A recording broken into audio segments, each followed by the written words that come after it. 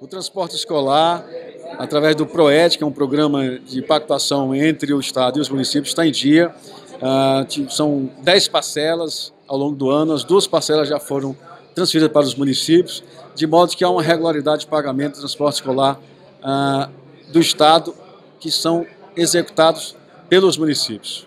2018 está, como eu disse, atualizado, em 2017 ah, existe apenas uma parcela, a última parcela, que são 10 parcelas ano, ah, que as providências administrativas e financeiras estão sendo tomadas para essa parcela ser devidamente quitada o mais breve possível. A mesma coisa com o cofinanciamento da saúde?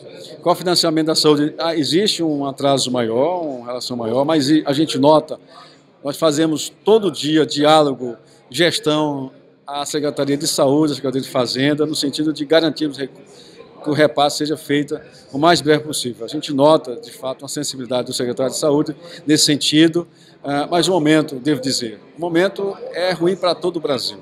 Ah, eu posso dizer aqui que os quatro estados em que o sistema, a Previdência está numa situação considerada grave, os quatro estados, três já atrasaram salários correntes de servidores. O único que não atrasou ainda foi o estado do Piauí, exatamente em razão ah, das medidas que foram tomadas. Mas nós, a nós, eu como presidente da PPM, não deixo de um dia sequer é, de fazer gestão, né, de fazer cobranças aos órgãos competentes do Estado para que o problema seja sanado o mais breve possível. Não, nós não temos esse valor exato, né, não temos esse valor exato, mas... É, ordem de grandeza. Ordem de grandeza.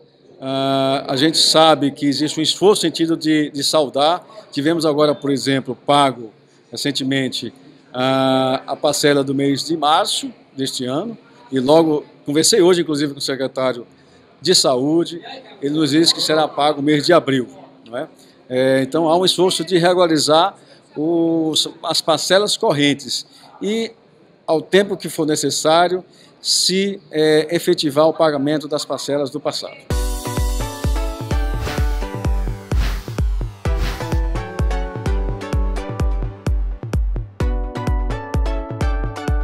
Acesse politicadinâmica.com.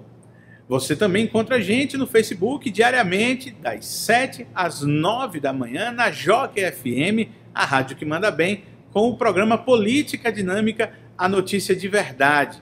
Tem o um link lá para você assistir ao vivo, então curta a nossa página, ative as notificações e fique por dentro de tudo nos bastidores da política do Piauí.